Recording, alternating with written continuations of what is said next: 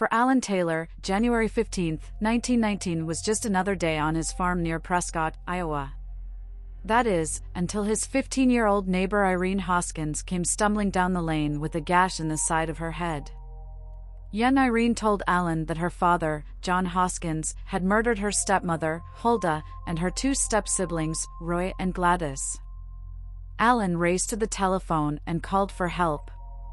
Chester Wood, another close neighbor, arrived soon thereafter. Together, they rode to the Hoskins farm. The men had known John for some time and wouldn't have thought him capable of something like this. John Hoskins was a widower with two children named Merlin and Irene. In 1915, he had married Hulda Campbell, a widow from nearby Nevinville, Iowa, with two children, Roy, 12, and Gladys, 18. John and Hulda had appeared happy together, and the family was well liked in the area. When Wood and Taylor arrived at the Hoskins farm, they could see Hulda's bloodied body on the back porch. John stood nearby, grasping a straight razor. He told them not to come any closer, or he would attack. Frightened, the two men fled. By the time law enforcement arrived, John had slit his own throat, as well as one of his wrists. He lay in a pool of blood, just inside the back door of the house.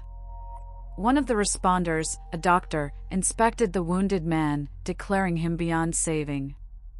But then, John began to twitch.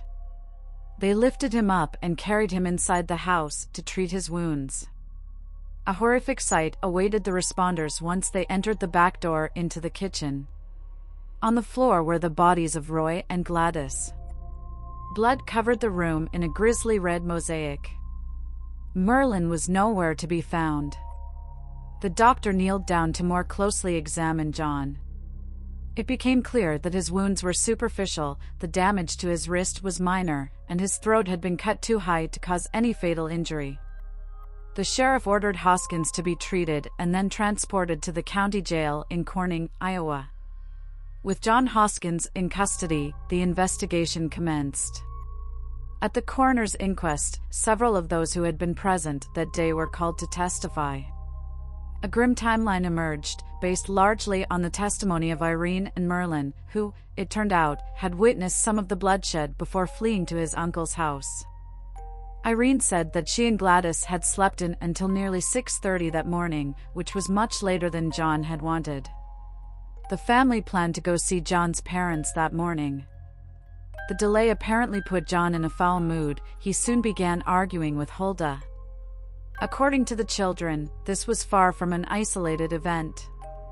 Indeed, earlier that same year, an enraged John had grabbed Roy by the throat and began strangling him. When Hulda and Irene tried to break it up, John attacked them too. The quarrel subsided without further injury then. Nevertheless, it told of violence to come. As John argued with his wife, the children sat down at the kitchen table and began eating breakfast. Soon John joined them while Hulda went outside to the separating house to get some lard. In the middle of the meal, John stood up and walked to the back door. He reached outside and grabbed a piece of wooden buggy axle that he used for mixing hog feed. Without a word, John then walked over and clubbed Gladys in the head. She crumpled to the ground. John swung again, this time striking Roy. Irene and Merlin both ran, afraid for their lives. John ran after Irene, catching her easily in the front yard. She begged her father to stop, but John swung the axle. Blood seeped from the gash left in her head as John turned away from his bleeding child. He next spotted Merlin running across the yard and called out to him. The boy froze in place.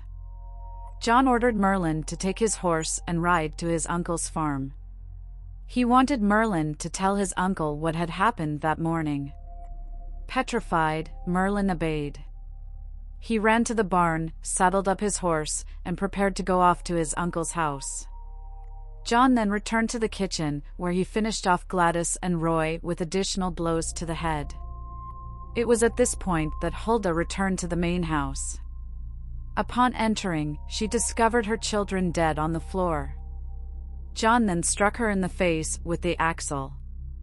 Hulda stumbled out the back door and into the yard. John followed her, smashing her in the head, then leaving her for dead.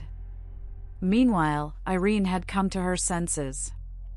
The first thing she saw was her stepmother in a heap in the backyard. She staggered over to the injured woman. Hulda was badly hurt, but still alive. She told Irene to run away and find help. Irene complied and went straight to Alan Taylor's farm. With the last of her strength, Hulda crawled onto the porch and died. By the end of the inquest, the entire region knew what John Hoskins had done.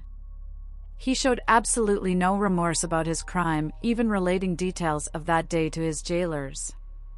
Local authorities brought Hoskins to trial almost immediately, and by March 1, 1919, he had pled guilty to murder. He was sent to Iowa State Penitentiary in Fort Madison, Iowa, to serve out a life sentence.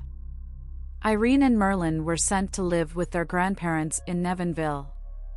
In 1959, 40 years after the murders took place, a 78 year old John Hoskins was granted parole after his original sentence was commuted. Surprisingly, he went to stay with Irene, who was now living in California.